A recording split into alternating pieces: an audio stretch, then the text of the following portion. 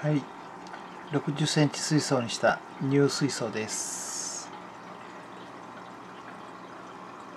ジェックスです。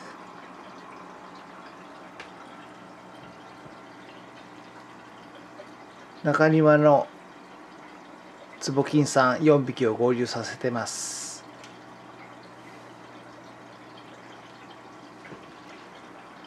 今回上部ろ過装置を導入しました。これも JX です。横にスペースがないので外部フィルターは中止しました。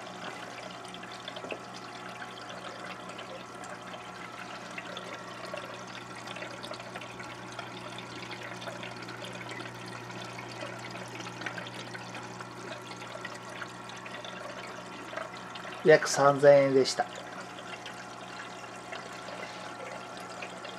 組み立ては簡単です。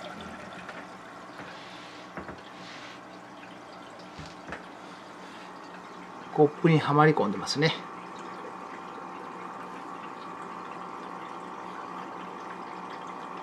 出ません。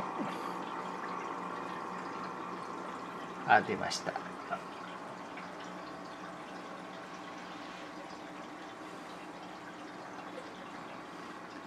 こちらはデカマルコちゃんですけどまたしてもポッポアイ状態なので別水槽で遠浴中です。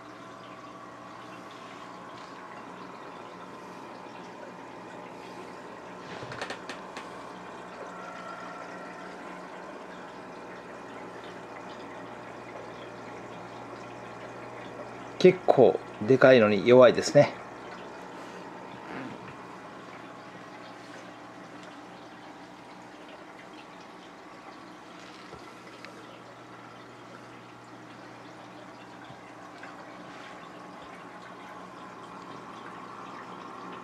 もうそろそろお休みの時間みたいです。それではこれで終わります。